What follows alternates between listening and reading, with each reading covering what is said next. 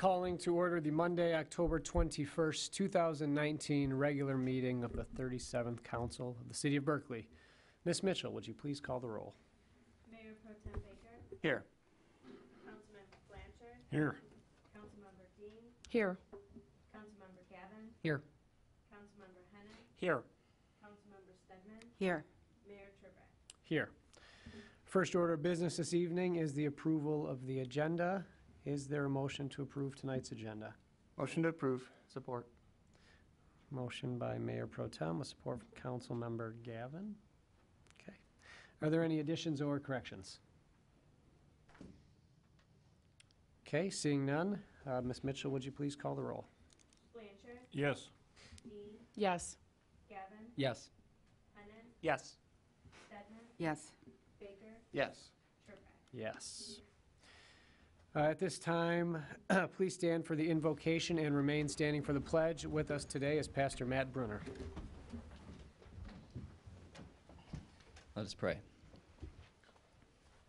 Dear Heavenly Father, thank you for this council. Thank you for this opportunity for us as a city to come together and uh, discuss the future of Berkley. And I just pray that you would bless this time this evening uh, and watch over the discussion and uh, the decisions that are made and the decisions that are held off. And I just pray that all of it would be uh, by your will. And I thank you for our, our city and uh, for um, just the wonderful community we have here in Berkley. Thank you for our schools. Watch over uh, the teachers and the students, um, and uh, help the teachers to uh, do a good job of um, raising our future generations in the schools. And I pray that you watch over the students as they attend the schools, that you would help them to uh, understand the importance of education and um, uh, really uh, dive into uh, the path to success. And um, Father, I know that uh, the um, elections are coming up soon. I pray that you watch over uh, that process as well. And um, whatever the results may be, I just pray that uh, you would watch over um, our future uh, city council and uh, help us to continue to grow as a community. So thank you for all of your blessings. Watch over us this evening. In Jesus' name, amen. I pledge allegiance to the flag of the United States of America and to the republic for which it stands, one nation, under God, indivisible, with liberty and justice for all.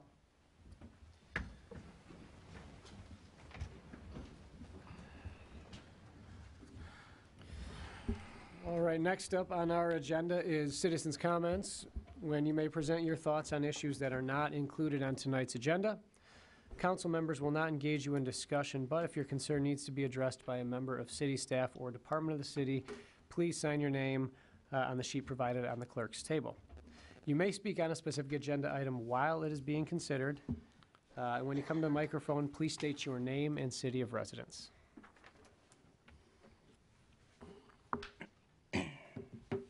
Uh, James Jeffrey Tong, Berkley, Michigan. We are almost to Veterans Day, November the 11th. And in honor of this day and in honor of the Berkley veterans who served in all of our wars, the Berkley Historical Museum is preparing what I think truly is the most exciting display we have ever had. When World War II hit, many, many students immediately left Berkley High School and enrolled, and others enrolled practically the day after they graduated. All through the war, records were kept of these young men and women. Uh, separate sheets were made for all of them. Wow. And the newspapers were clipped every day, and these were kept up to date. We have 800 and some of these. Mm. Each one is a different story about a different person who went off to war. This sheet, for example, has the two Baroni brothers, Bruno and Joseph, and how they got out of school. One joined the Army, one joined the Navy. Both were wounded in the fight in France. Very often, we see that awful ending where the mother gets word that their son, daughter is not coming back.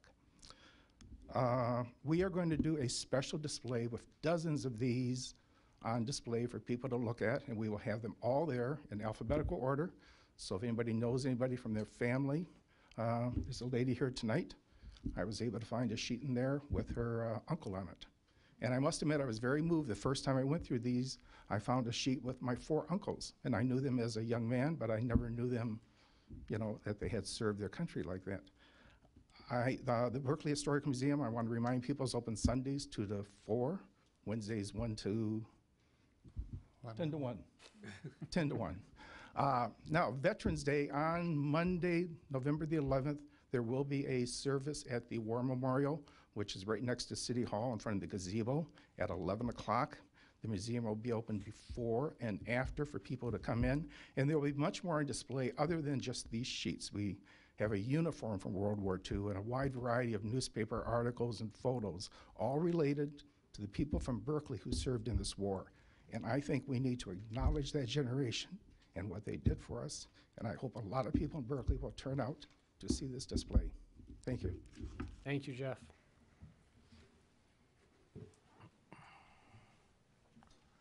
Uh, Good evening, Kurt Height, Berkley. Um, You know, a couple weeks ago, I came in and I was talking about the road diet and the evaluation process that is almost really non-existent. And, um, you know, I- I've been very uh, forthcoming. I've said I- I've- I support every one of you guys' choices to at least want to test it.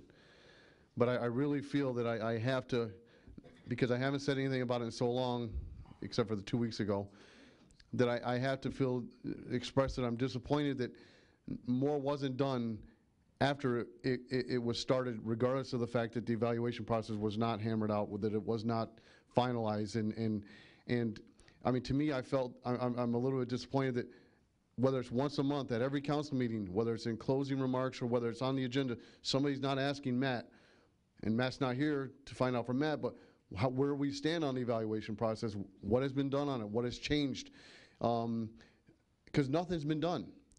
Uh, they did, I heard they did the counts, what, three weeks ago, but the counts by themselves do not really show whether or not, they, they don't live up to the expectations of whether it was gonna show an impact on whether or not it's having on the neighborhood.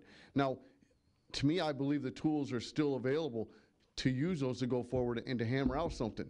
But in order for that to happen, somebody has to be willing to recognize it. That's sitting up here, that has to give voice to the fact that it hasn't been done and we have to do something.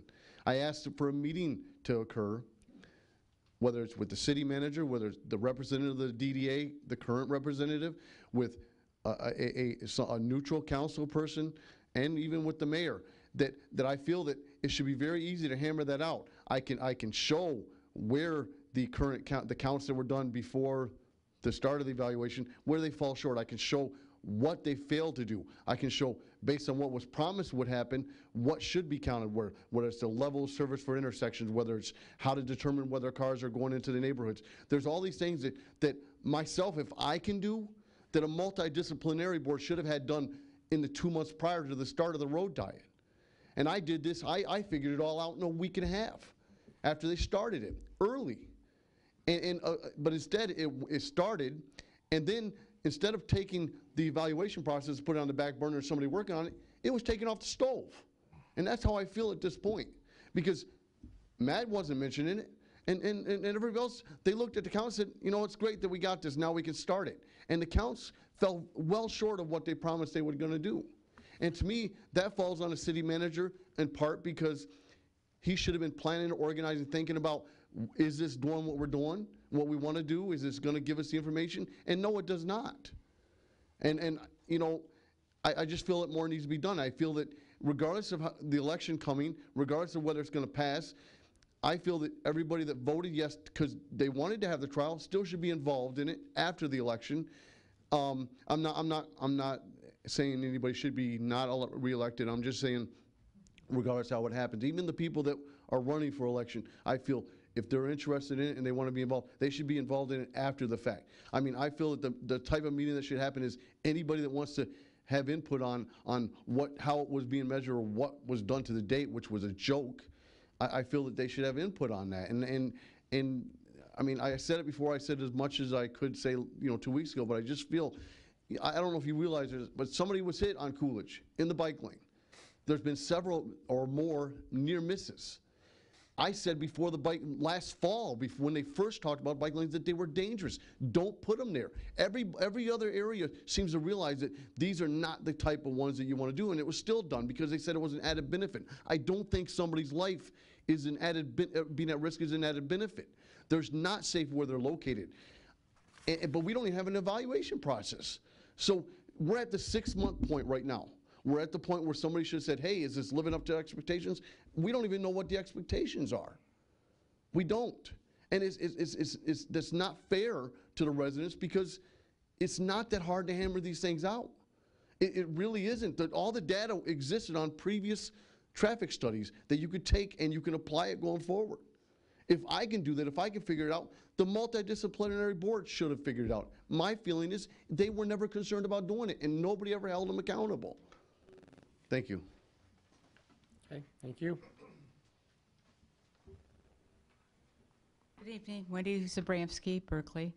Um, Dan, you promised us when this road diet took place, if it came down to a matter of safety, you would yank it immediately. Okay, now somebody's been hit. What is it going to take? A death? It'll be on your shoulders because I am. s- I'm sorry to be that Well, blunt. Wendy, all right, I'm sorry to come be on. that blunt. No, let me finish. no, it's you're my not- I'm not turn. going to let you finish when you're uh, uh, saying comments like that. I have no problem with you speaking, Wendy, none at all, and, and sharing your point of view, but to call. But you're put- to letting put- this go on and Okay. on, All and you're not evaluating it like you should and stopping it. Okay, thank you.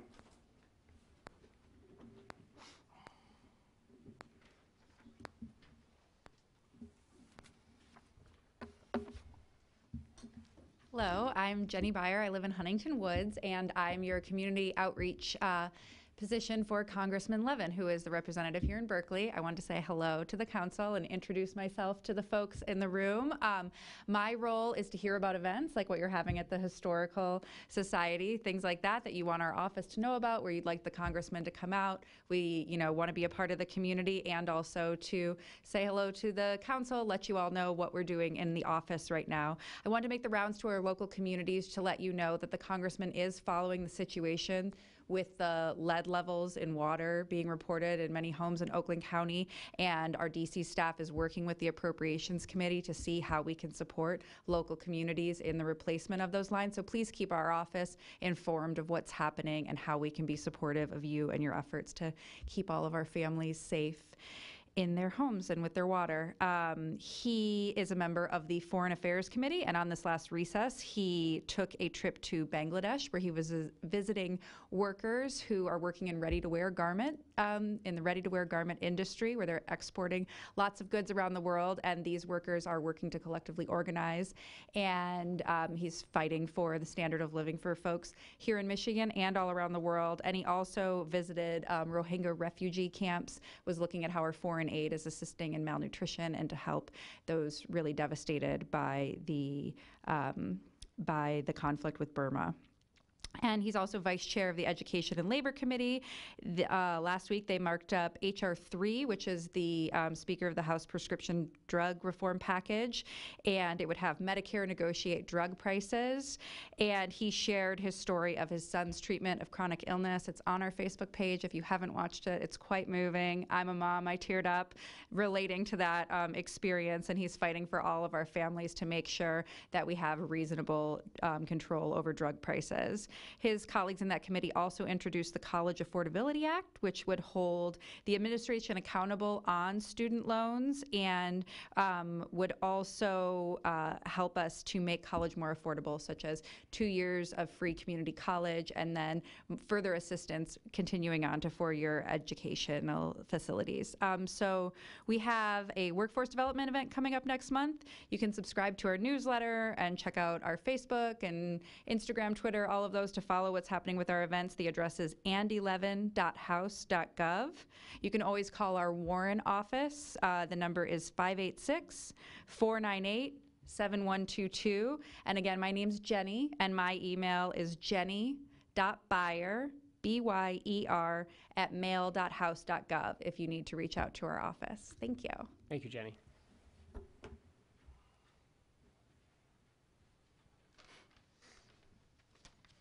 Good evening, City Council. My name is Zach Barnhart. I moved to Berkley back in April. My house does not have an existing garage, but my wife and I knew there would be plenty of room to add a garage and new driveway to our house when we purchased it. We're currently in the process of trying to add on a driveway and have a garage built on our property.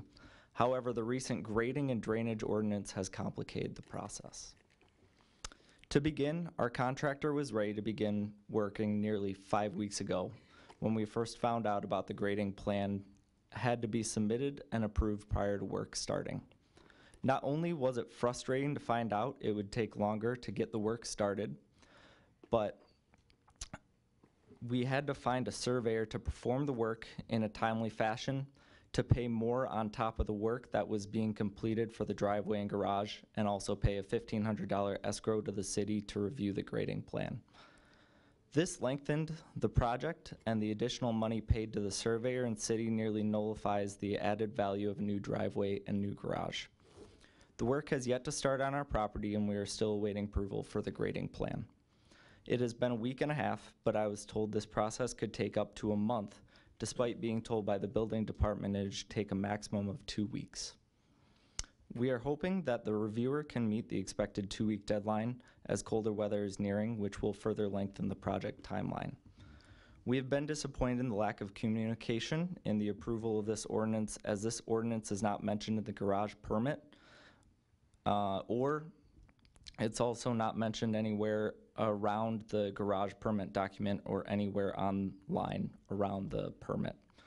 We would have tried to begin building sooner had we known the additional time required to get a grading plan performed, submitted, and approved. It appears that the grading and drainage ordinance was not well thought out or has been poorly executed due to the poor communication and longer than expected approval time. Tonight, you have the chance to ease the pain of this process by speeding up the review process and lighten the cost to homeowners like my wife and I that are trying to improve their living space for themselves and for future owners. We encourage you to listen and agree to the suggestions brought to you tonight. Thank you for your time. Thank you. Mr. Barnhart, have you signed in? yet? I've, I've not, no. Please sign in so we can make sure that we can get back with you. Thank you.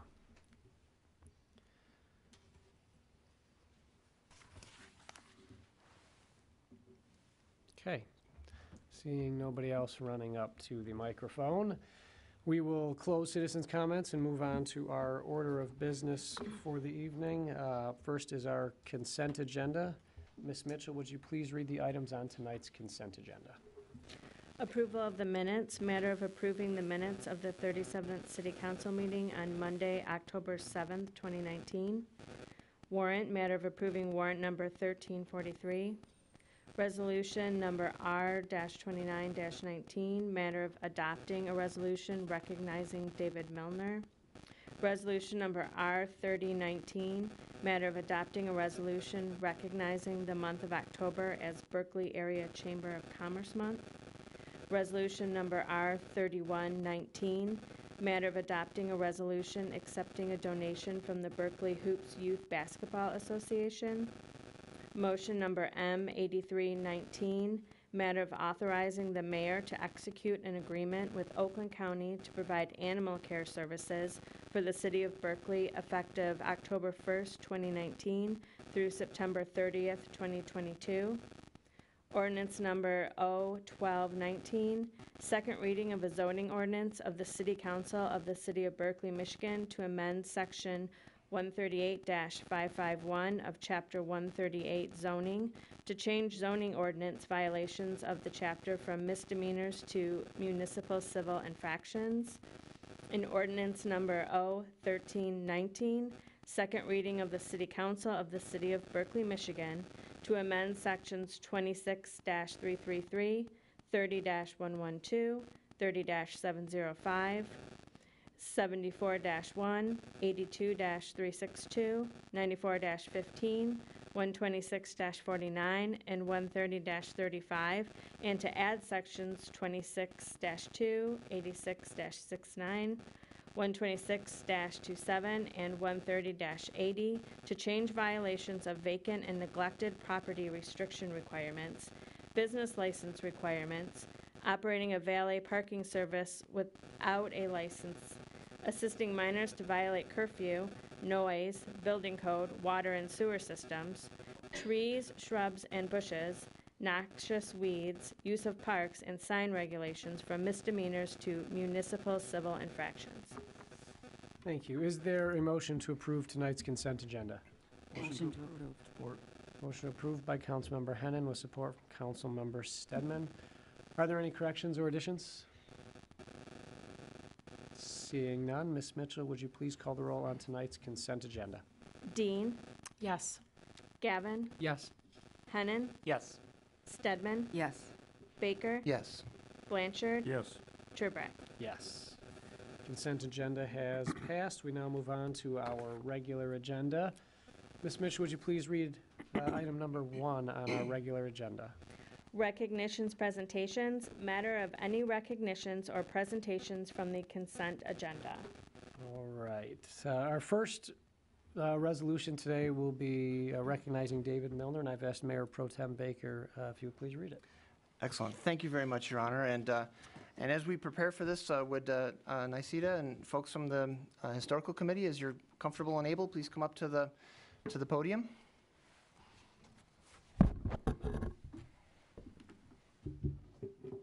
Thank you. A resolution of the Council of the City of Berkley, Michigan, recognizing the many contributions of David Milner to the City of Berkley during his lifetime. Whereas David Milner was born on July 21, 1939, at, 80, at 3801 Gardner in Berkley, to parents Jack and Roberta Milner. David and his older sister Niceta became the third generation of Berkley residents in the Milner family. And whereas in 1945, the Milner family moved to 2233 Earlmont. This would remain David's home for the next 74 years until his passing on September 15, 2019, at the age of 80. And whereas, being raised in Berkley, David began his schooling at Berkley Elementary School and eventually graduated from Berkley High School in 1957. And whereas, David remained active with Berkley Schools as a longtime member of the Alumni Association, where he served as treasurer, vice chair, and chair all while helping to plan dozens of high school reunions. And whereas David served his country admirably in the United States Navy. And whereas David not only made his home in Berkley, he was also a member of Berkley's First Methodist Church and worked at several Berkley businesses, including Holland Hardware, John R. Lumber, and Kids and Stuff. And whereas Berkley was, uh, David was dedicated to preserving Berkley's history. He served on both the Berkley Historical Society and the Berkley Historical Committee. And whereas, as a member of the Berkley Historical Committee, he proved to be one of the committee's hardest workers, one who could always be counted on when help was needed for the various community events in which the committee participated, and for staffing the museum, often filling in for others and offering to help even when he was not scheduled. And now, therefore, the City of Berkley resolves that the City of that the, uh, that the Council of the City of Berkley, Michigan, on behalf of all local residents, recognizes the many contributions of Mr. David Milner to the City of Berkley during his lifetime. David will always be remembered by his friends and neighbors as eager, enthusiastic, thoughtful, and sociable. His warmth will be missed. The City Council is grateful for this opportunity to join with the family and the many friends of Mr. David Milner to honor an individual who has truly understood the beauty of life and the value of serving one's community. May he forever serve as an example to all Berkley residents. Introduced and passed at a regular City Council meeting on Monday, October 21st, 2019. Daniel J. Terbrack, Mayor. Would you like to, to come? On? I'll take it down. Yeah, I'll, I'll bring it to you. I'll bring it to you. Take it down. Yeah.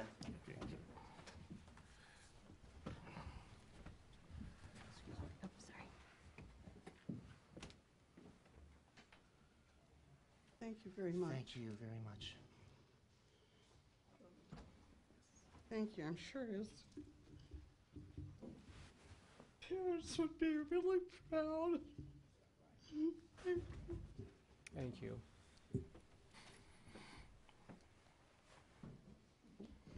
Hi, I'm Sue Richardson, Chair of the Berkley Historical Committee. Um, Sadly, I knew David a very short time, for about two and a half years. Well, he was on the committee, uh, but I grew to really love him because he was such a dear person, and as the resolution says, he was always willing to help, you know, he, and he always had a smile on his face. So even when I visited him in the hospital, you know, he always looked cheerful, you know, always had a joke.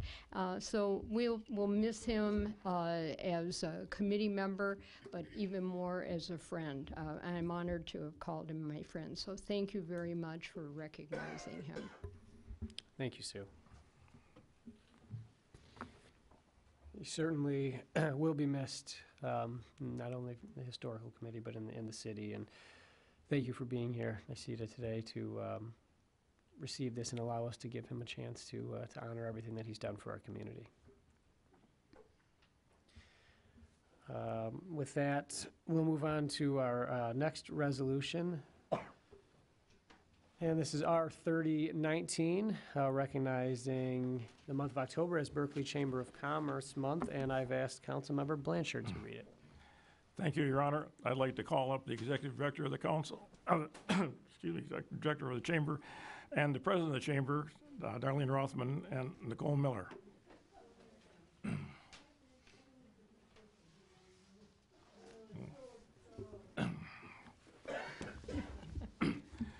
A resolution of the Council of the City of Berkley, Michigan recognizes the month of October as Berkley Area Chamber of Commerce Month. Whereas the Berkley Area Chamber of Commerce works with the Berkley area businesses, business community to advance the civic, economic, personal, social, and cultural systems of our area. And whereas the Berkley Chamber of Commerce has contributed to the prote- protection of commerce and the Berkley business climate for 35 years since its incorporation. And whereas the Berkley Area Chamber of Commerce, under the guidance of their Board of Directors, works to promote the region's business community through education, information, and the many networking and training opportunities that are developed by the Chamber. And whereas the Berkley Area Chamber of Commerce and its members provide citizens with a strong business environment that increases employment, the retail trade, and commerce, and business growth in order to make the city of Berkley a better place to live. And whereas the Berkley Area Chamber of Commerce supports the municipalities by hosting the State of the Cities event that provides updates from the City of Berkley, the City of Huntington Woods, the Berkley School District, the Downtown Development Authority, and the Chamber to its citizens. And whereas the Berkley, the Berkley Cha- Area Chamber of Commerce encourages the growth of existing services and commercial firms and encourage, encourages new firms and individuals to locate in the city of Berkley. And whereas the Berkley Area Chamber of Commerce is supported by the financial and volunteer resources of over 150 small and medium-sized businesses located and operating in the Berkley and Huntington Woods area. And now therefore, the city of Berkley resolves that the council of the city of Berkley hereby proclaims October 2019 as Berkley Area Chamber of Commerce Month in Berkley, Michigan. Introduced and passed at a regular city council meeting on Monday, October 21st, 2019. Daniel J. Terbrack, Mayor. Come on up, ladies. Come on up. For all you do for this community. Thank you. Thank you. Thanks, yeah, good job. Sure. Oh, hit everybody, hit everybody. Keep, keep working. Oh, yeah. We'll go over here. Congratulations.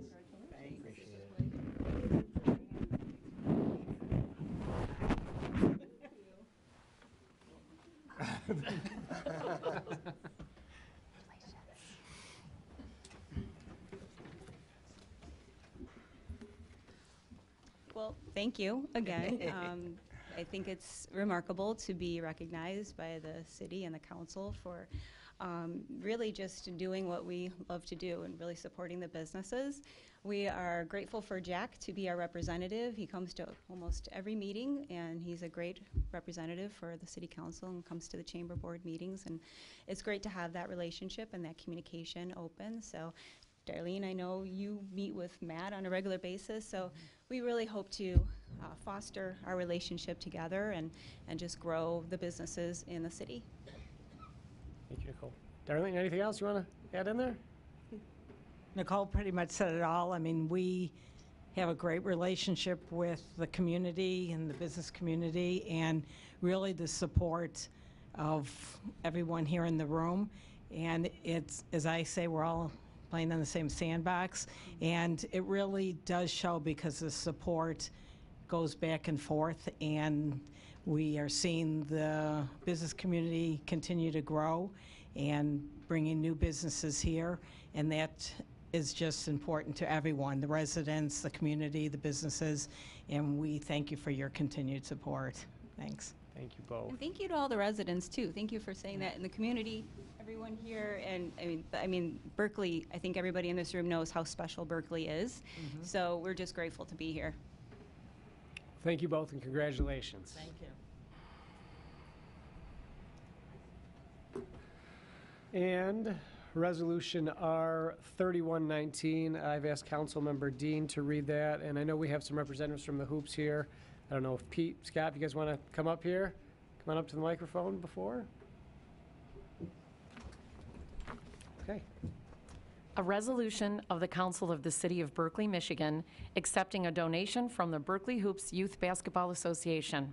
Whereas the City of Berkley Parks and Recreation Department is accepting a donation from the Berkley Hoops Youth Basketball Association.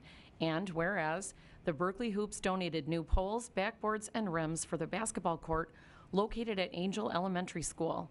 And whereas this donation greatly improves not only the appearance, but the functionality and use of the court for all who wish to play. And now, therefore, the City of Berkley resolves, Section 1, that the City Council of the City of Berkley accept the generous donation made by the Berkley Hoops Youth Basketball Association, and Section 2, the Parks and Recreation Department and City Council are extremely grateful for all that the Hoops organization does for area kids and for enhancing recreation in Berkley. Introduced and passed at a regular City Council meeting on Monday, October the 21st, 2019. Daniel J. Terbrack, Mayor. Thank you. All right, guys. Yeah. Hey, thanks for all you do. We appreciate that. Thank you. Thank you so much. Amazing, thank you. thank Yeah. Thank you. Thank you. trading places, huh? Thanks a lot. Thank you for everything. We- We appreciate what you do. Thank you.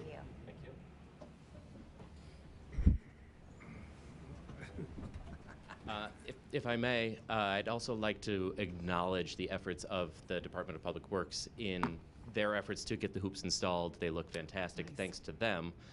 Uh, I was visiting them there as they were installing them on a very, very hot, sunny day. It was uh, a a job that I wouldn't have wanted to do, so much appreciation to them. Um, Additionally, it's, it's our pleasure, as we have a growing basketball league within the Berkley School District, we are at, uh, we'll be at a little under 600 registrants for this season, which is up significantly from the prior year, which is up significantly from the year prior to that. We continue to grow. As we grow and we find a budget surplus, we would like to continue on an annual basis to make a similar donation if you'll have it. Um, to that end, to that end, we just look for uh, the feedback from Teresa and Parks and Rec, from the schools, of where additional hoops could go. Where we see, as I live across the street from Angell, I have seen every single day since those hoops have been up, countless kids, K through 12, parents, other community members coming and playing. They're, the courts, so long as the weather cooperates, which today wasn't a great day for that, but when the weather cooperates, those courts are filled with people. Uh, it's exactly what we had envisioned when we wanted to make this donation. We hope we can spread that around to other areas of Berkley. So we'll continue to work with you if that's okay, Teresa, in, Yes, find- yes. in finding other locations where uh, ideally each spring we can help make a donation to accommodate that. Scott, anything else? Yeah, I just wanted to say that, you know, I've, I've been a part of Berkley Hoops for a very long time, and I'm just very proud that pre, Pete shows that we really need new voices to, to come into youth sports, because if he wouldn't have come in and had this great idea, we wouldn't have this tremendous project. So I, I just want, Pete, thank you so much. I think it's a, it's a great idea. It makes me feel like, why didn't we do this much, you know, much sooner? But yeah, we want to keep improving Berkley with these outdoor courts, because it shouldn't be so hard for kids to have a really nice place to go play basketball. Uh, so yeah, so thank you, Pete, and thank, thank all of you. Thank Well, thank you both for everything that you do, not only for the Hoops program, but again for uh, the kids in the community, and as you mentioned, K to 12 parents, everybody that's out there in, enjoying those hoops, Um, And yes, we, would- we would probably take additional thing, uh, donations in the future if you guys saw, saw to it. Uh, But no, thank you in all uh, honesty for, for the incredible work you guys are doing. Our pleasure. Thank Thanks, so much. everybody. Thank Thank you. Thank you. Thanks.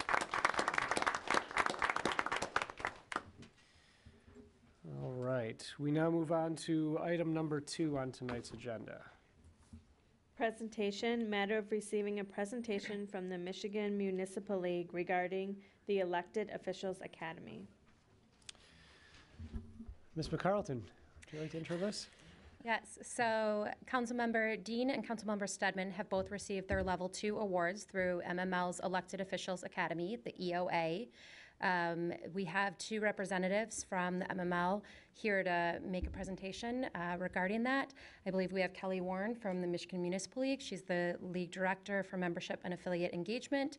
And um, Brenda Moore from Saginaw is the Mayor Pro Tem, the MML President, and past EOA President. Um, I believe we are missing Monica Galloway. So, Thank you. thank you. Good afternoon. First, I'd like to thank you for allowing us the opportunity. This is not the norm. I am the president of the Municipal League, and I told them that my job this year was going to be to travel from city to city, so thank you for allowing me to be at your city. So, I want to start off, hi Steve, I want to start off by saying to you a little bit about what the EOA is. It is a learning process for all elected officials. It's the educational process. We have four levels. I have all four levels. We have over, how many people? We got, I'm gonna say 8,000. I might be exaggerating a little bit. But out of 8,000 individuals, okay. No, I'd like to make numbers big. Y'all know how we do. Um, but anyways, I am the number 10th person to complete all of the levels. Was not hard, was not easy either, but it was fun because you have like four different levels, and in the four levels, you learn all about how and what we need to do as politicians. Not to say you don't know what to do, but it's always good to learn. It's always good to learn. So at this time, I'd like to present two awards.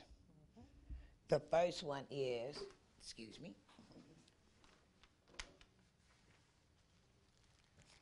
The first one is level one, the completion of the education award for Miss Bridget Dean. Thank you. Yay.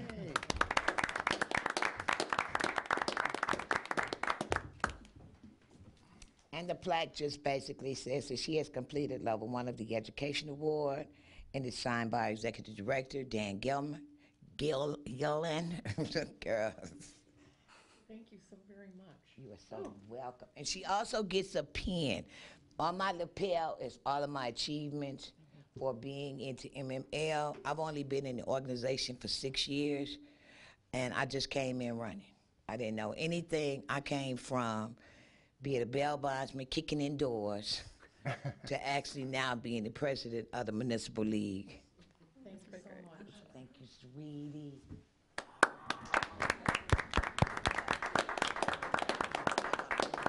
Can I just say one thing? Um, So, You're already there. what? You're already there. So um, Brenda said she came in running. I'm going to say that she came in dancing because that's, you know, when she walked in, I was like, cue the music. But I want to I want to thank both of you for being here. I want to thank the Michigan Municipal League for providing um, a framework for education for elected officials. I know that I've benefited greatly from that. And um, am thrilled to have this, my level one completed. So thank you all very much. Thank you. She wasn't supposed to tell my secret. I do. That's my trademark, kicking doors, dancing. I'm sorry. okay, now we have another award to an individual, and it's called our Leadership Award, which is level two. And this is for Miss Eileen Stressman. Stedman. Sted- Stedman? Yep. You know, names behoove me. Good job, Eileen.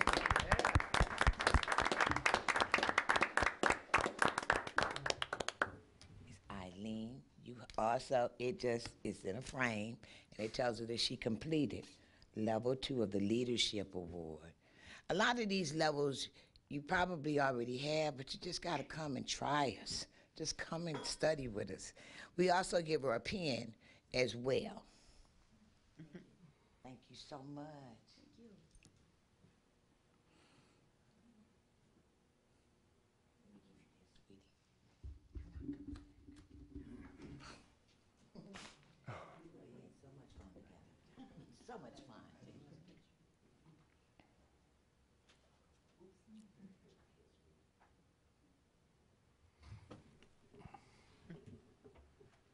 Um, I would just like to say that, first of all, Steve Baker was, um, was uh, one, one of our uh, city, has been one of our city council members for s- several years.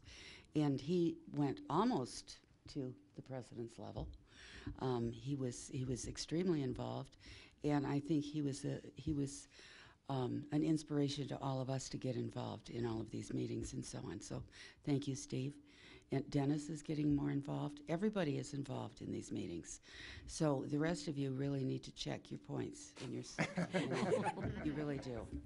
Uh, because I'm sure that, um, that uh, a couple more of you do have what it requires to have the education award, even the new ones. Thank you. Thank you. So I actually did print out transcripts for those of you that are enrolled in the EOA so that you know where you stand. And for those of you that are not enrolled, I will be happy to enroll you when I get back to the office. Just let me know. Um, because you probably are halfway there. And I'd like to say too, Steve has been very involved. He was a board member for the Michigan Municipal League and on the Elected Officials Academy Board. And now Dennis is on our board and most of you are enrolled in the program, so we appreciate all of you. And if you don't mind, I'll pass these out real quick, if I can. Just, Thank you. Yeah. Oh, yeah, give them hand to- Yeah, okay. perfect. Thank you. And once again, we want to thank you for allowing us the opportunity to come to Berkley. Never knew where you were, but now I know. Thank you so much. Well, thank you, Kelly and Brenda, for, for coming out um, tonight and talking not only about the uh, levels of certification that some of our members have gotten, but again, just to reinforce how important the league is um, for elected officials and the uh, education and continuing education is something that we can all strive for and is always going to be important. But thank you both for taking time to come and be with us today to present these awards. And we're probably going to see you in the future for a number of those too. So thank you. All right. Uh, We'll now move on to item number three on our agenda. Ms. Mitchell, would you please read that item? Resolution R 3219, matter of designating Saturday, December 7th, 2019 for the annual holiday parade and tree lighting ceremony in Berkley. Is there a motion to approve our 3219? Motion to approve. Support. Motion approved by Councilmember Dean with support from Mayor Pro Tem Baker. Ms. McCarlton?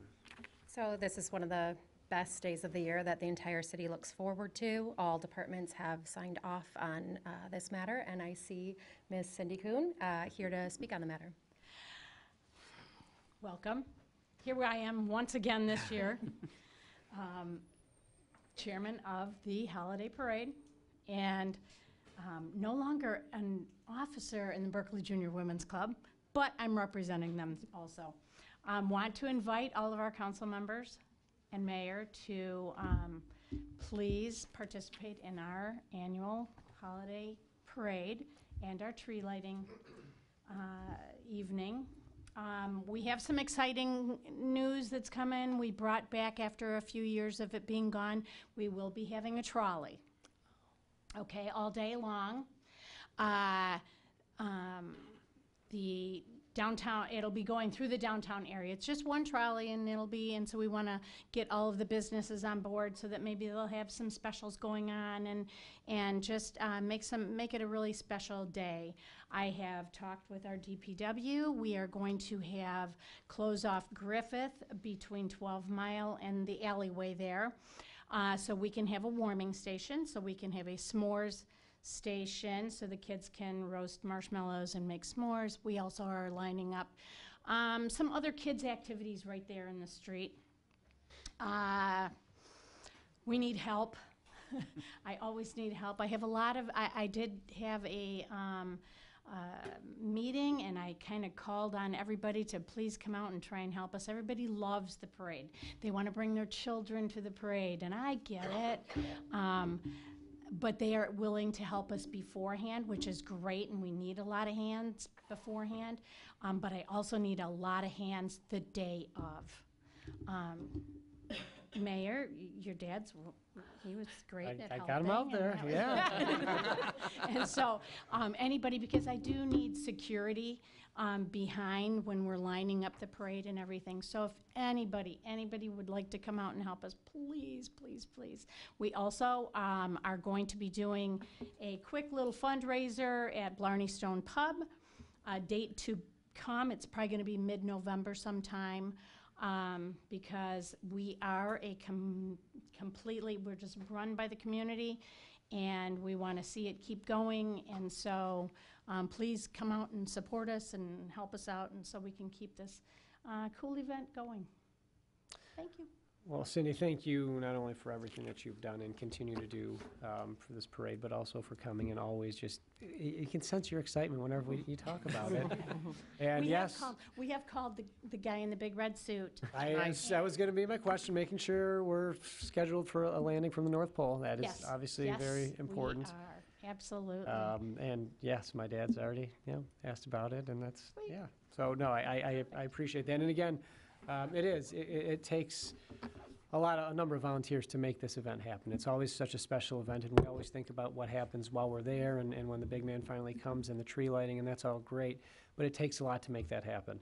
And um, we do need as many volunteers as possible to help out that day, even just for as much time as, as you can spare to make sure that it continues to be a truly magical night um, for our community. Thank you so And much. we will Cindy. have horse-drawn carriages again up and down Rosemont. Awesome. Um, which, uh, after you see, uh, Santa, just stroll over to Rosemont and, you know, hop a ride, and it's, it's really neat, because the residents up and down Rosemont really go all out and they decorate, and it's, it's really neat and nice.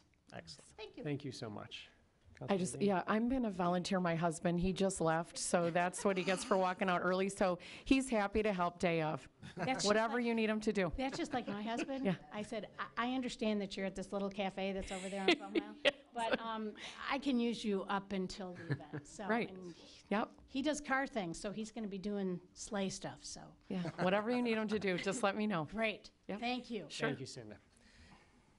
All right, is there, or would you, Ms. Mitchell, would you please call the roll, I should say? Dan? Gavin? Comment? Sorry, Oops, Jack, oops, oh, One second. hold on, Cindy, before Thank you, leave. Your Honor. I just want to clarify one thing. Uh, The 12 Mile will be closed from 5 o'clock till 8 o'clock. And if you looked at the TCOs in the package, it- it looks like it could be closed all day, from from noon until 8. But the actual time for 12 Mile closure is 5 o'clock, and the parade is at 5:30, correct, Cindy? Yeah. Okay, the just want to event, make sure but yeah, everybody just- understood Just that. 12 mil, correct, call. yes. All right, thank you. We'll let you, well, you you probably want to see if it passes first, right? She already knows. Uh, Ms. Mitchell, would you please call the roll? Gavin? Yes. Hennen? Yes. Stedman? Yes. Baker? Yes. Blanchard? Yes. Dean? Yes, Terbrack? Yes. Uh, Let's move on to item number four on our agenda. Motion number M eighty-four nineteen, matter of approval to purchase a used rear loader truck from Bell Equipment in the amount of one hundred sixty-nine thousand five hundred dollars from Bell Equipment Company, Lake Orion, Michigan. The unit was publicly advertised and bid on the BidNet Minton system. The vehicle was identified in the 2019-2020 Capital Equipment Replacement Program. Funding is allocated under account number 226-528-985-000. Is there a motion to approve M 8419? Motion to approve. Support. Motion approved by Councilmember Blanchard with support from Councilmember Stedman. Ms. McCarlton? This is a budgeted item, thank you, Mayor, and our Public Works Director, Derek Schuler, is here to speak on it. Good evening, Derek. Well, good evening.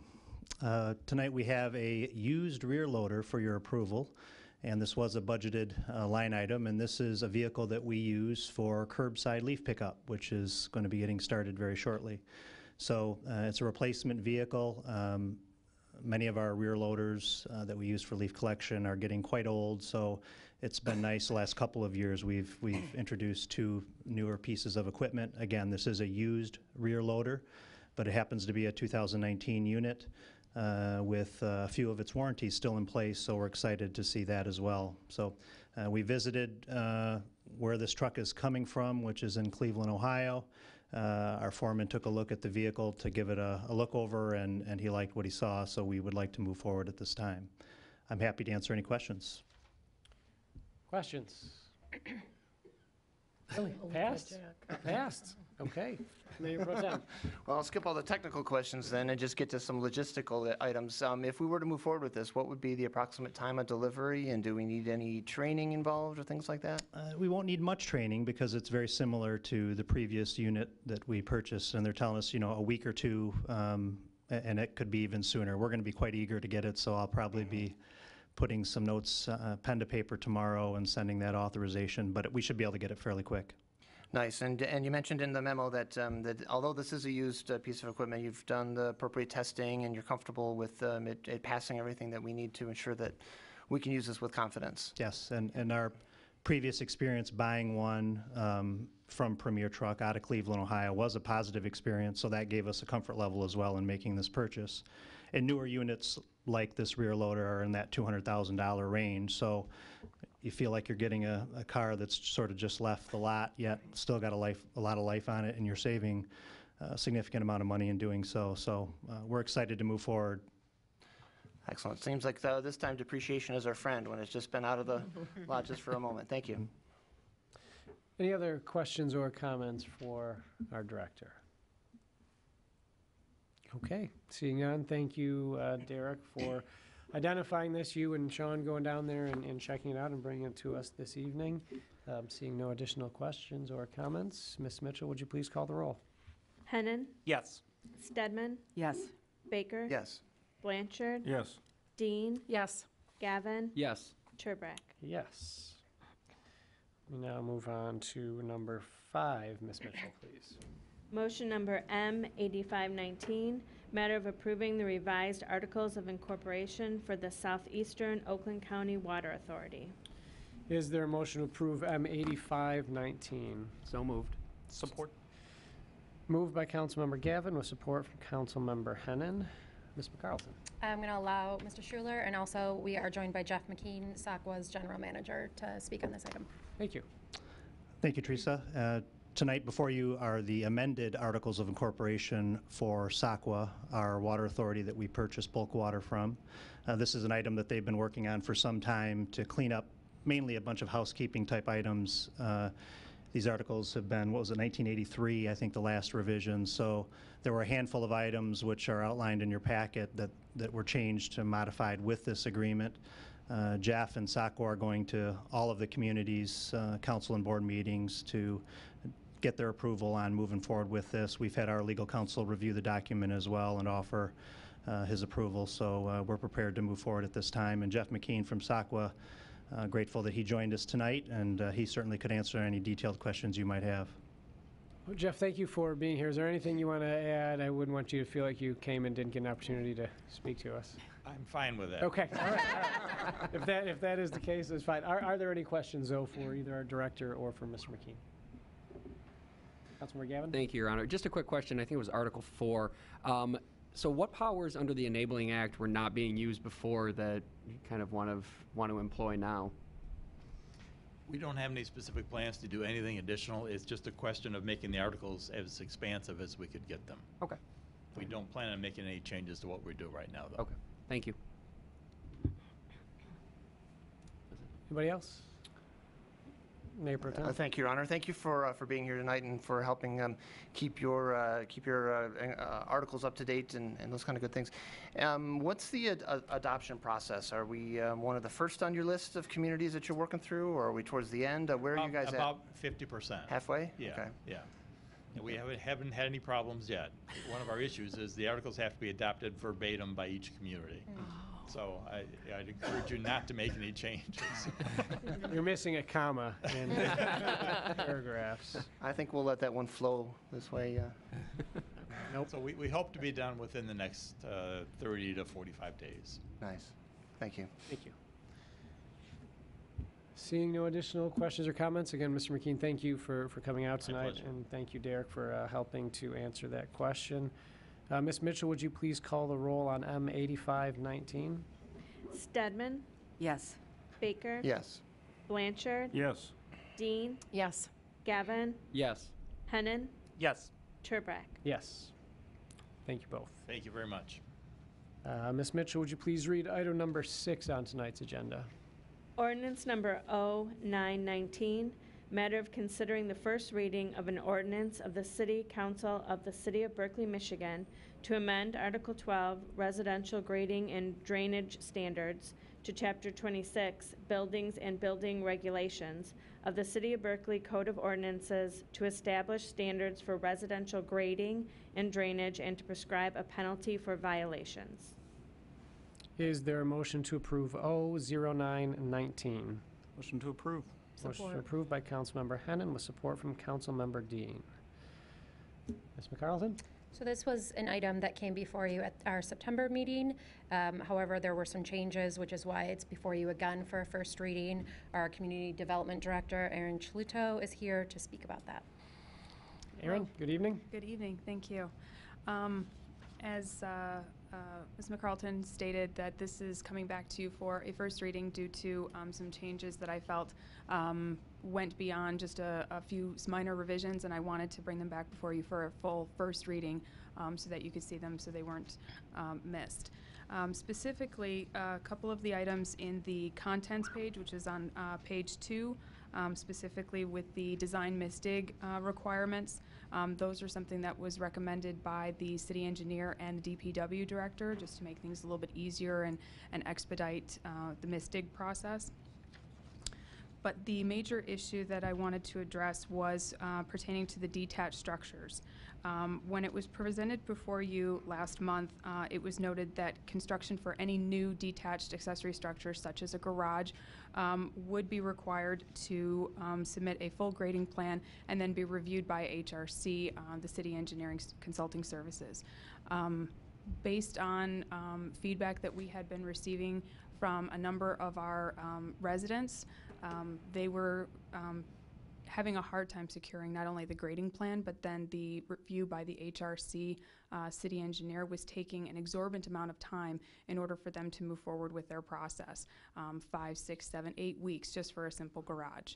Um, based upon um, some discussions that I had not only with HRC, but with um, other surveyors, uh, a couple of other planners, um, that I know independently. Uh, we looked at uh, what it would be to revise the requirements so they would still submit the grading plan so that we would still see the change in elevation, the change in grade to make sure that the water, stormwater runoff didn't cause adverse um, effects upon adjacent property owners, but it would no longer have to go to HRC for city engineering review and approval. This would expedite the process and alleviate some of the financial burden onto our residents. Um, based on what we were looking at, um, the grading plans would be reviewed by the building official and the community development director, myself. Um, I have reviewed these plans um, in previous communities um, several times, so I feel very confident in what I would be looking at and seeing if there were stormwater runoff issues, being able to work with the homeowners to um, come up with stormwater management techniques that they that would be beneficial and also not be cost prohibitive.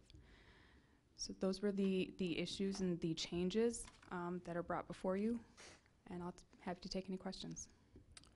Uh, We obviously heard from uh, one resident today speaking on this, Mr. Barnhart. I'm sure we have his information, so we can at least uh, reach out to him and make sure that we figure out what is going on there and and make sure that we are certainly following um, the code and our ordinances, but also trying to expedite things as much as possible. It seems like that's been a a bit arduous, and it seems like this is trying to start alleviating that, and moving forward, um, steps at least in that direction. Not Yes. specifically with that, but that type of situation. Right.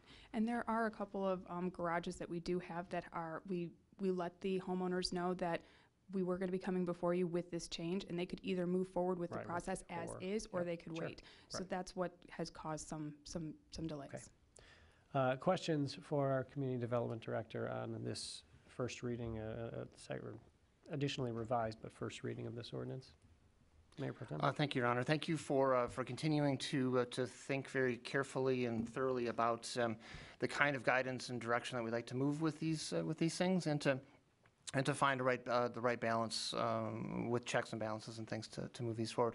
If we were to move forward with this with little to no modifications, uh, for those that are kind of caught in the, in the in-between here, uh, would they need to wait for the second reading, or could we um, kind of help guide them through this, this um, intention uh, as the second reading comes before us uh, at our next meeting?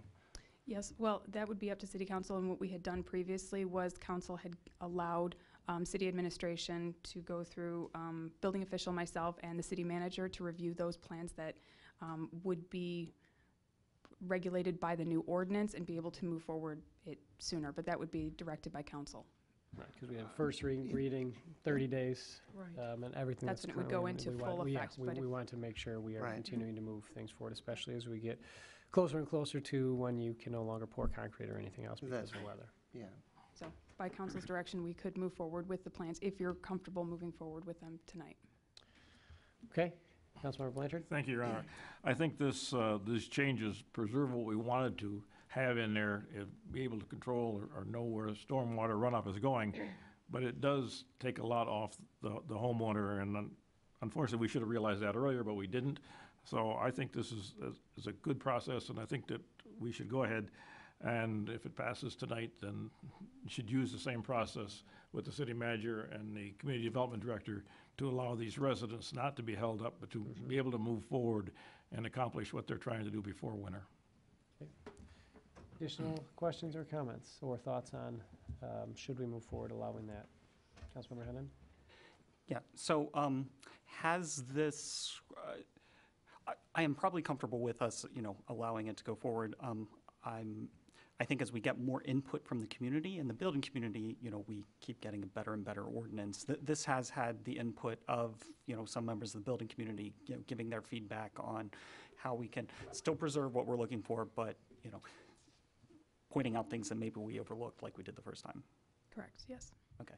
And then um, the uh, one question I have that you brought up is um, that yourself and the building official, um, you know, would be comfortable reading the plans to, you know, without having the engineering review.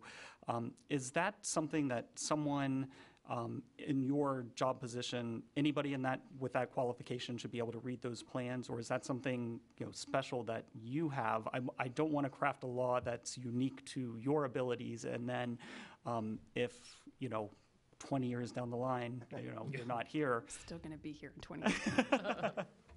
Um, Well, that would be something that the building official, um, he and I have talked about that, and so he feels comfortable with his knowledge, um, someone in his field with his background, um, whether it's, it's him specifically or someone, just a building official would have that. Someone in my background would be able to read um, a plan and see where the elevation changes and should be able to discern if the water is flowing in a certain direction, if it would be able to pool or, or if it would be able to, to be removed. And if there are questions or concerns, we can work with the homeowner about getting additional reviews if needed, or they would have to then put in a French drain. It's not just a, a cut and dry type of thing, but it's, it, it alleviates the requirement of that third-party review. Okay. I, I'm comfortable with this. Okay, thank you. You comfortable? Yeah. Councilmember Dean? Yes. Any additional questions or comments on this? Hi, my name is Abramski again. It's my next door neighbor, and there is not a water issue back there, so just so if you feel comfortable with going forward with this one especially, it's, it's not an issue back there. We weren't flooded in 14 or anything. Thank you. Okay. Um, Seeing no additional questions or comments, and with the agreement that if this passes uh, after the vote, we can begin to make sure that everyone who um, submits understands what the regulations, and we'll be using these moving forward, even though the process hasn't completely finalized. Fair? Okay. See a lot of heads nodding. Uh, Ms. Mitchell, with that, would you please call the roll on O0919? Baker? Yes. Blanchard? Yes. Dean? Yes. Gavin? Yes. Hennen? Yes. Stedman? Yes. Terbrack? Yes. Uh, Ms. Mitchell, would you please read item number seven on tonight's agenda? Motion number M eighty-six nineteen, matter of awarding a contract for senior home chore snow removal service to Expert Lawn and Snow, two one zero eight three Mound Road, Warren, Michigan, four eight zero nine one, for $3,500, which will be paid from account number 275-940-818-040, and the remaining funds will come from no- account number 614-105-818-000. Is there a motion to approve M eighty-six nineteen? Motion to approve. Support. Motion approved by Councilmember Dean with support from Councilmember Hennen. Ms. McCarlton, you can throw this one to yourself. Great. Uh, So this is one of those um, programs that the city runs through the Community Development Block Grant Program, uh, the funds that we receive from the county. Um, We have received for the last several years a maximum of $3,500. Uh, With how many homes uh, we have applied for the program, uh, we are not able to take all homes that apply, um, unfortunately, given the amount that we receive. And we are still supplementing um, with the snowfalls that we have had over the last couple of winters, um, money from the Recreation Department, from uh, the city, uh, is having to put money forth. However, I think it's an important program to, you know, uh, remove snow from seniors who are our most vulnerable population um, from their homes so that they can, they're not housebound, so that they can get out of their homes. Um, we do evaluate and we do take the, the lowest income. Um, we take about 30 to 35 homes and I think it's a worthwhile program. Um, we have, over the last couple of years, been getting fewer and fewer bids, one or two. Um, not exactly sure what's to account for that. We've spoken to some people, and it's a service that's a little different than plowing. Um, you know, someone actually has to go out there and get up to the homes and the porches and, and the driveway.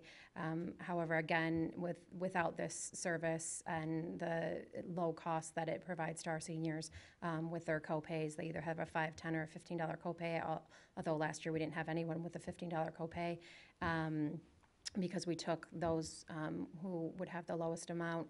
Um, We are taking applications uh, through November 5th, so if any seniors out there want to apply, um, they can call our office, 248-658-3470, to get an application. We'll send it to them, and then uh, they can, they can mail it back to us.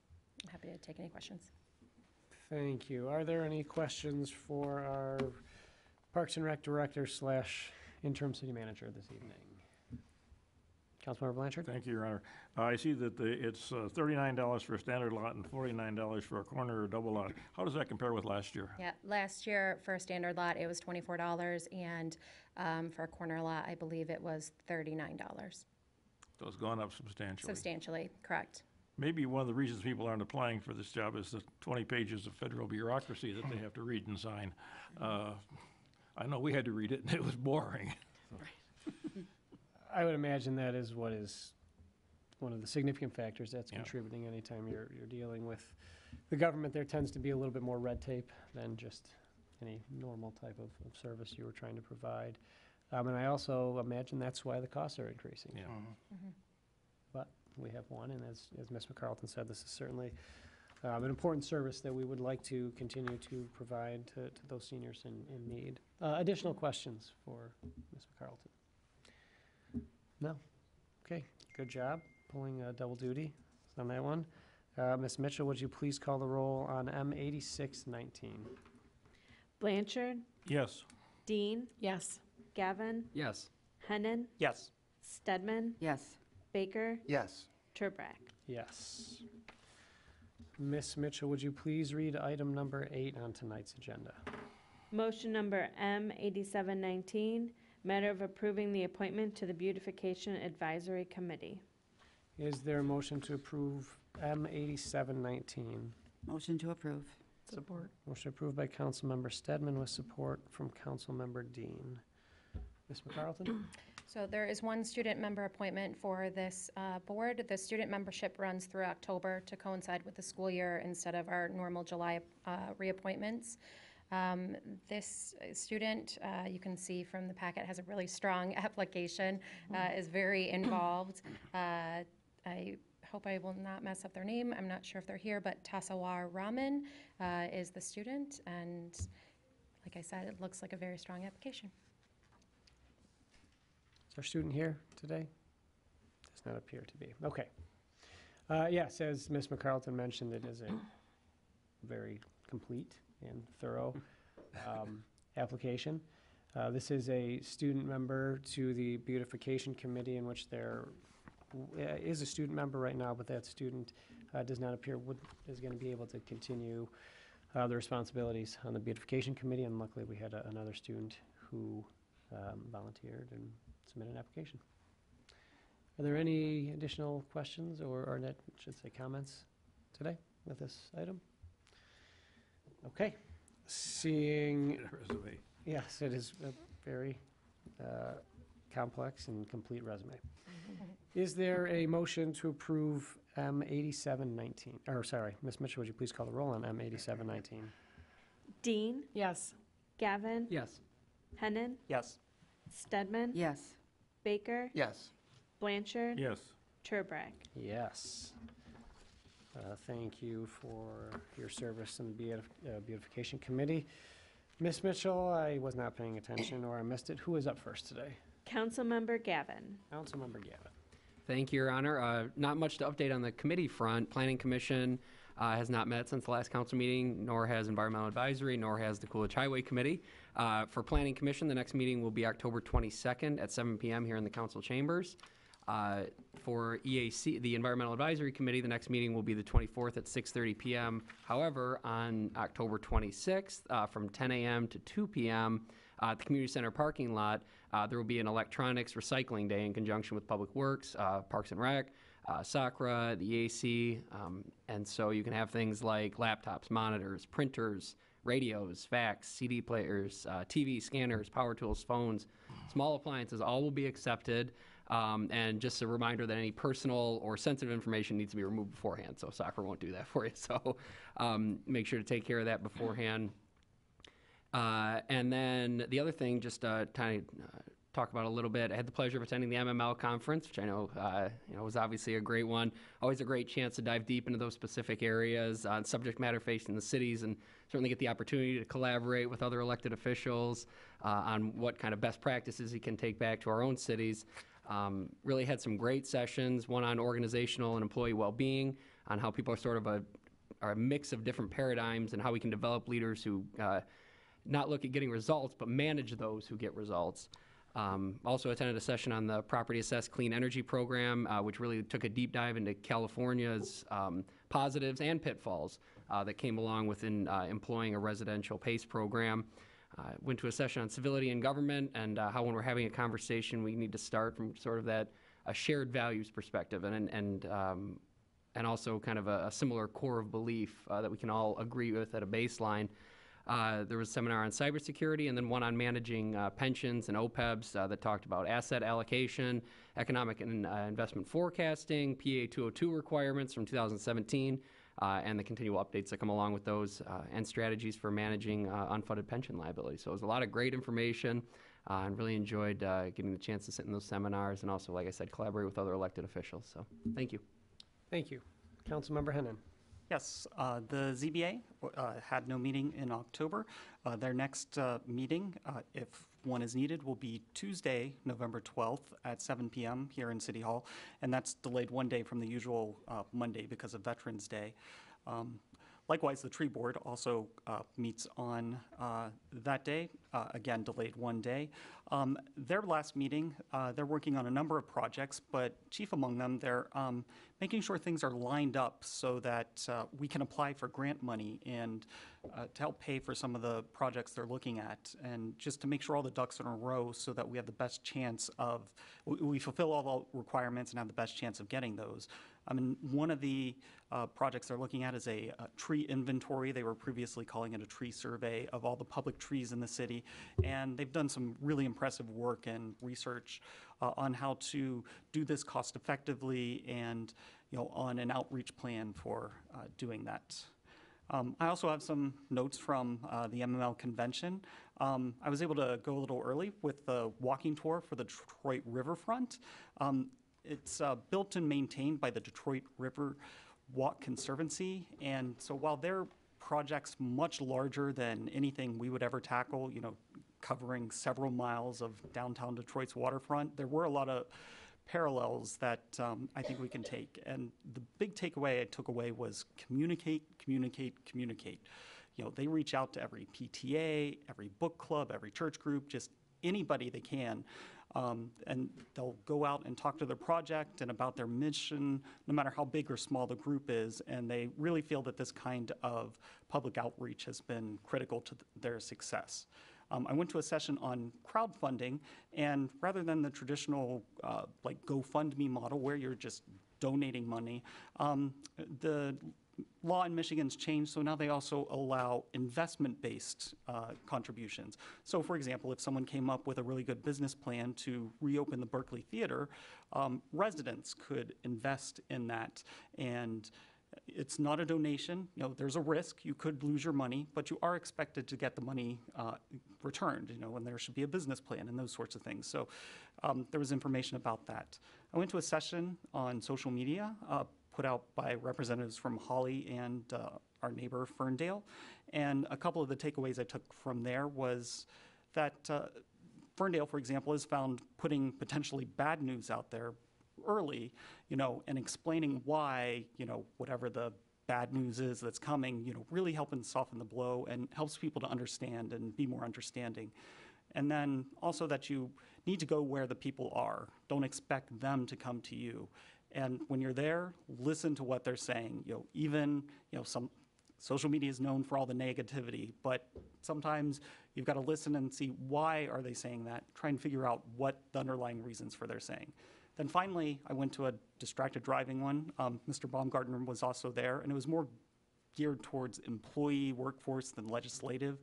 But you know, I just wanted to share that they showed some absolutely terrifying and sobering videos of research subjects and how even simple distractions can lead to uh, catastrophic results. And uh, the real takeaway is how a lot of the technologies that we think will make us safer, Mm. um, hands-free, uh, those sorts of things, um, using Siri, using Siri was a great example. Siri is so bad that you, you end up so distracted, it is more dangerous to use it than to put your hand on the phone.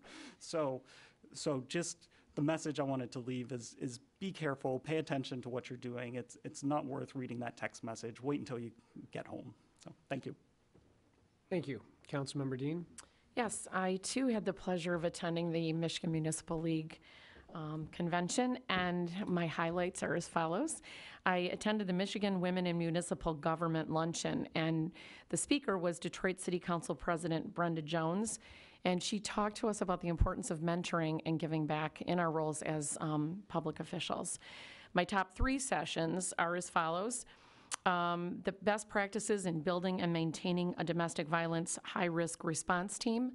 This is already in place in Farmington Hills, and I know Chief Kane has come from there. So my and I've and I've spoken with him about um, replicating that here in Berkley, and hopefully we'll be able to utilize what they've learned in the model that they're using to put in place here. Um, in a nutshell, it's important to have a multidisciplinary task force, not just your law enforcement, but um, public safety, somebody from the court, someone from Haven, which is um, located in Pontiac, and it stands for Help Against Violent, Violent Encounters Now, and then um, um, county prosecutors as well. And communication, again, to piggyback on what Councilmember um, Hennen mentioned, communication is important between the multidisciplinary team as well as um, victim advocates, the court system itself.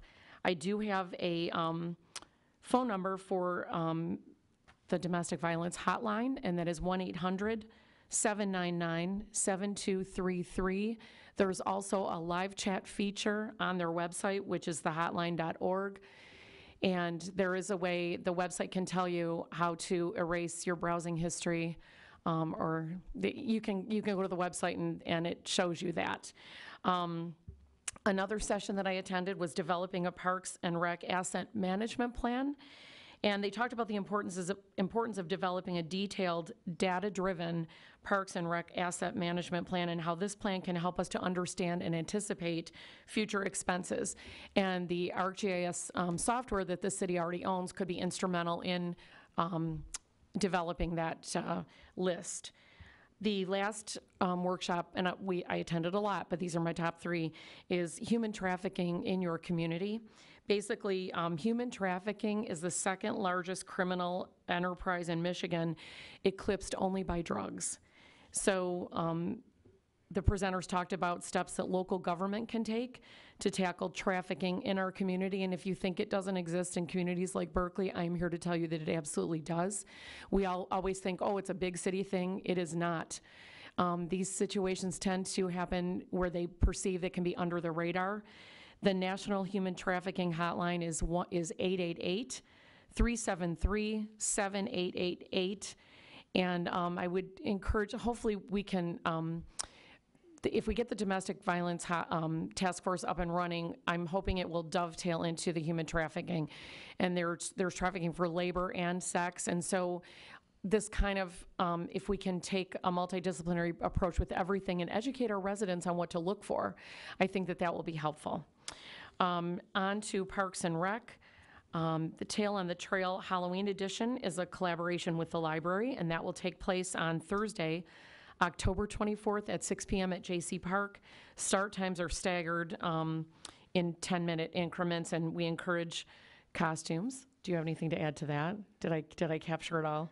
Oh, it's just such a cute event. I know. Love it. It is. Yeah. Um, Boo Fest is Monday, October 28th. Again, multiple start times beginning at 5 o'clock, and it's designed for children up through the fifth grade. Um, and you really should register, you know, like yesterday, because space is limited, but you can do that by calling the Parks and Rec Department or berkley.maxgalaxy.net. And vacation camp is on for Election Day, Tuesday, November 5th. Thank you. Thank you. Mayor Pro Tem.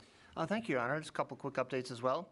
Uh, The Technology Advisory Committee met uh, last week's Wednesday, October 16th.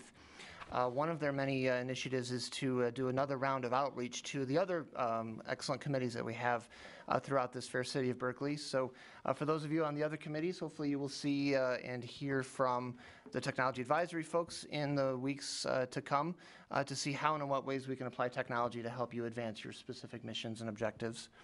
And their next scheduled meeting is on Wednesday, November 20th uh, at 6:30 PM.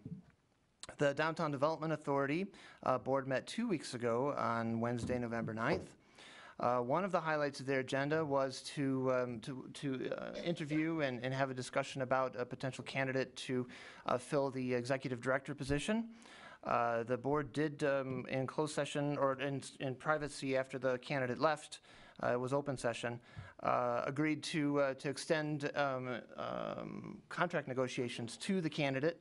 Uh, Once those are underway and things, it'll go back to the DDA board uh, for their approval, and then it would come to council as an expenditure item uh, for us to review as well. So we'll get a chance to, uh, to learn more about that, uh, the potential um, new DDA downtown director uh, in the weeks to come. Uh, kudos to those involved in the uh, fantastic Moms Night Out. As you can tell, I was more of an a partici- uh, more of a fan role in that night, uh, but uh, it was a, a terrific evening uh, last Friday, the 18th. Uh, great um, um, participation and, and turnout from folks, and the businesses did well um, to help support and with all creative events and things. So. Thanks to um, all the volunteers that helped make Moms Night Out such a great event. And for more info on upcoming events and activities, visit downtownberkley.com. Uh, The Historical Committee, as we uh, heard at the onset of the meeting here this evening, um, a new Veterans Display will be coming soon. I really encourage you all to, uh, to take a little bit of time and come and check that out, either on Veterans Day, if that works with your schedule, or in uh, the other times in which the museum is open. Uh, Sundays from 2 to 4, and Wednesdays from 10 a.m. 10 a.m. to 1 p.m. Uh, and there still is a chance to get um, the holiday mugs and the uh, holiday tree ornaments uh, that are on sale as well. All proceeds go to benefit the museum, uh, so get yours while you can because they're selling fast. And finally, it was Mattie Stepanek who once said, Unity is strength. When there is teamwork and collaboration, wonderful things can be achieved. And so uh, I'll use that to talk about teamwork and collaboration. To pivot a little bit, you might expect me to give an MML update as well. I'm really glad to, to, to see my friends uh, here tonight. Uh, and congratulations again to my colleagues on your tremendous progress through the Elected Officials Academy. Uh, so my curveball is that I'll talk just for a moment about SEMCOG. So uh, SEMCOG is the Southeast Michigan Council of Governments. It is a planning and coordination organization that supports uh, the seven counties in Southeast Michigan, representing over 4 million residents. Uh, they had their General Assembly last week's Thursday in Troy, and the keynote address uh, was from Bryan Barnett, who's the mayor of Rochester Hills and was uh, recently appointed the president of the U.S. Conference of Mayors. And so, uh, in that um, um, in that event, uh, his keynote ad- address uh, spoke about the value of local leadership. So again, the, the work that my colleagues are taking to uh, to continue to, to learn and grow and, and bring about those leadership capabilities to uh, our community is is amazing. Uh, and the three key the three key themes of their core commitment, which are uh, the three I's: innovation, inclusion, and infrastructure. And uh, as we know, innovation is going to be a key to unlocking not only technology advancements, as we talked about earlier, but also thought advancements, right? So innovation, we typically think of shiny objects and you know fancy technologies and things, but innovation is creating value by doing new things, and that may or may not require technology to do that. And so, as we think about the ways in which we can innovate uh, within our community and across um, our different committees and as a bro- broader region, there's such great opportunity to continue to find ways to innovate. Inclusion, the second of the three I's, uh, talks about the, the strength that we have when we, when we rally around our diversity of experience and diversity of perspective and diversity of education and diversity of technical skills and diversity of, of uh, focus and passion. Bringing that together to help, help move our city and our region forward uh, is the second of the three key themes uh, that SEMCOG is, is driving. Uh, and then finally, infrastructure. Uh, obviously, uh, pun intended with the driving thing there. Uh, not only does that affect us here at the local level, but also across the region, as we've seen um, with many of the items that, that we're all dependent upon, uh, the infrastructure that, um, that makes day-to-day living such a, um, hopefully such a pleasant experience for us all. So um, that was a brief um, update on the SEMCOG front. Uh, and now back to, I'm sure, more updates on the MML side of the House. Thank you, Your Honor, for your time. Thank you. Councilmember Stedman. Um, I just uh, am going to give one upda- update on the MML um, side of the House, uh, or the the MML convention, and that is, one of the most important things I took out of that is there is a census coming up. It is in 2020. People are being hired right now to do censuses. You can go online to the 2020 census and um, apply for a job if you'd like to do that. Um, the census, every person that counts means another few bucks for the city of Berkley and the school district in the city of Berkley. And, um, and our roads and everything, that- everything that we do here. Uh, so it is very important that every single person is counted. Um, if, if you want to be part of that, please apply for a job. We need, we, um, initially, they're going to send out um, um, forms that people can send in, and I believe it's just a short form. A very few people get the long form, but they'll send out forms first, and then um, and then when the forms that they don't get back, they'll call by phone or meet in person or so on. But it's just very important that everybody tell your neighbors. Doesn't matter. They just want to know how many people live in your house. And it's important for Berkley to get the funds that we need to run our city, that everybody is counted. Thank you for that. Um, okay, the Citizens Engagement Advisory Committee, I missed that one, the, the last one on October 2nd. Um, I was helping my daughter celebrate her birthday. Um, but um, they were discussing, again, the Communication Committee and finalizing that. And um, also the, the website. They've been working on looking at the city's website, comparing it to other websites in the area, and um, and um, uh, seeing how we can improve ours to make it easier for our residents to act, uh, access it. Um, the beautification committee, um, they have done their cleanup plan. They are not having a holiday lights um, contest this year because the last couple of years it has not. Um, people have not been very enthusiastic about it. Nominations haven't come in. They have um, Dan and Anella Mihiescu have personally driven around the city of Berkley looking for um, for lights and uh, that that would be worthy of an award. And so, since it's not really a community event, or it hasn't been for a couple of years, we're not going to have it. So in that case, they are not meeting again until March 11th, uh, beginning of planting season.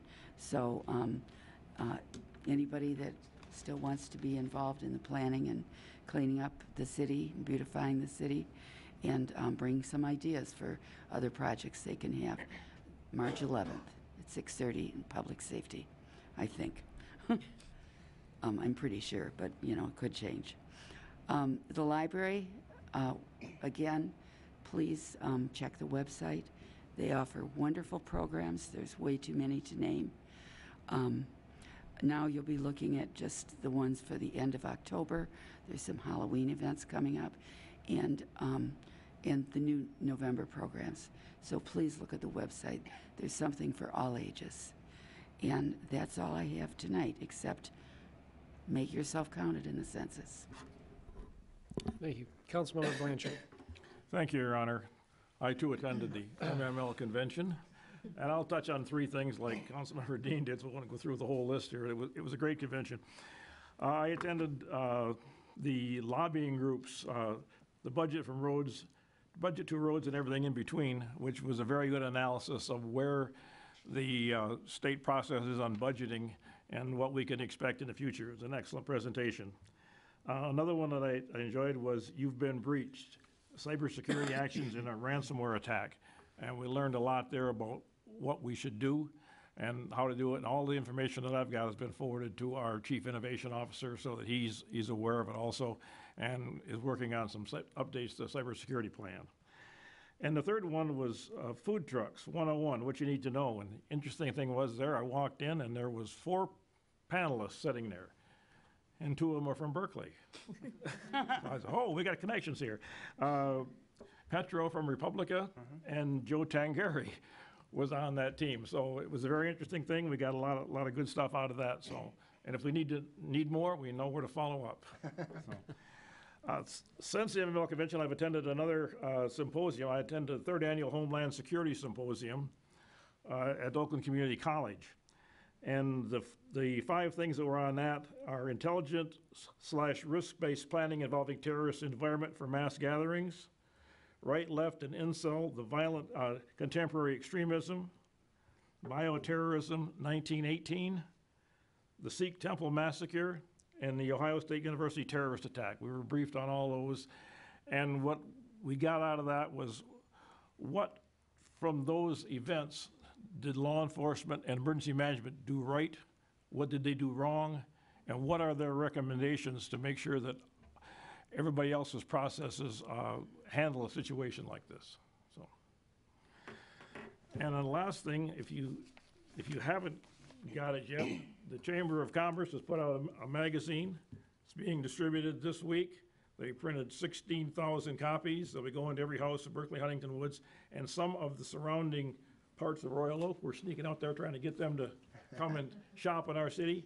Uh, it's long. I don't know how many 110 pages, 112 pages. Uh, it'll be put out once a year, and it's got a lot of good reference material in it. So if you don't get one, let the chamber know, and they'll get you one. So use it and shop the local businesses. Thank you. Excellent. Thank you. Mr. Carlton. Uh, Just an update tonight for the residents and for council uh, regarding the arena demolition. Uh, We're about 95% complete. There are two minor items that will be complete uh, hopefully by the end of this week. Uh, Thank the residents that live nearby for their patience. Um, But overall, the, the project went really, really well. Um, We did not hear from any residents regarding any issues or problems. In fact, we had a lot of people who brought their children or even older to watch as the process was happening. Uh, So we've been really happy with the work, and um, hopefully we'll close out those two minor items this week.